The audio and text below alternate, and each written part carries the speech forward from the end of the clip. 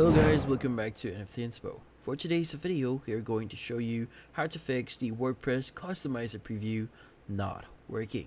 So if you're interested, let's start a tutorial. So there's a few things that you could actually do to probably fix this issue. So one of those things is you have to ensure that you have the latest version for WordPress. Now sometimes not having the latest version for WordPress can really affect your website. So in this case, ensure that you have the latest version. Now also, you also have to consider to update and make sure that you have the latest version for the uh, updates or the versions for the plugins that you have on your WordPress website.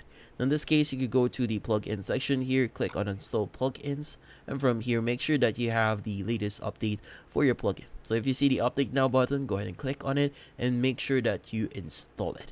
Now, once it's actually installed, from here on, try if that solves the issue. Now, in this case, sometimes having multiple plugins installed into your website here can actually cause problems. So their codes could actually uh, make it uh, a bit hard for you or make things uh, complicated. So meaning some uh, plugins can actually break your website. Now In this case, if you've recently installed a plugin into your website, consider uninstalling it first and see if that solves your issue.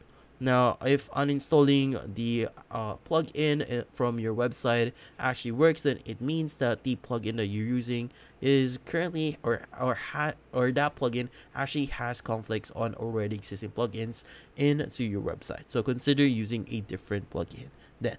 Now, if that doesn't work, there are going to be a few things that you can still do here. Like, for example, you might need to uh, do a few things on your browser itself. Like, for example, clearing your browse cache.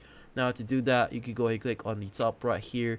Just go to your settings. In this case, once in your settings, click on the option here that says privacy and security. And from here, click on clear browsing history. Make sure that the cache images, cookies, and other site data. And from here, uh, go ahead and click on clear data and see if that solves your issue.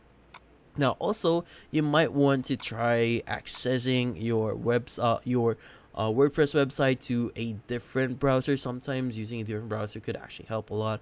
Now, in this case, uh, see if that solves the issue. But that's about it. So hopefully this video was able to help you. Like and subscribe to NFT Inspo. Thank you for watching.